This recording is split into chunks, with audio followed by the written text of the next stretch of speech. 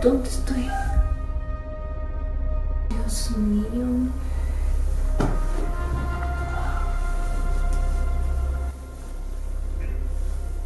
Ay.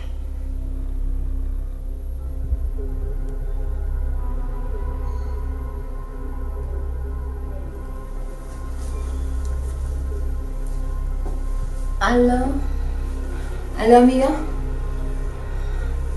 No sé dónde estoy, amiga.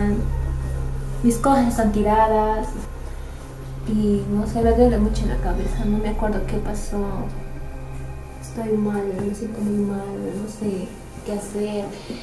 Si podrías venirme a recoger, no sé. Por favor. Bien, amiga, te espero.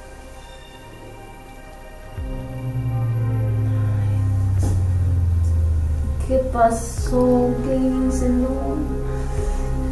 Ay.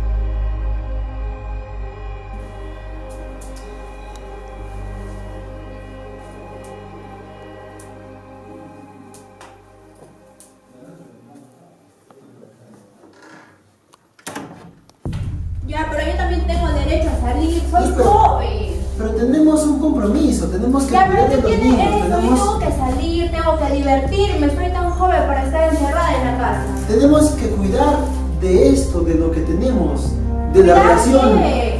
Tenemos una ¿Y familia, acaso tú no sales a la calle? hijos. ¿Acaso tú no sales? ¿No sales a divertirte? Pero existen responsabilidades que tenemos que Pero estoy cumplir. llegando, pues acá, ya estoy llegando. Luz.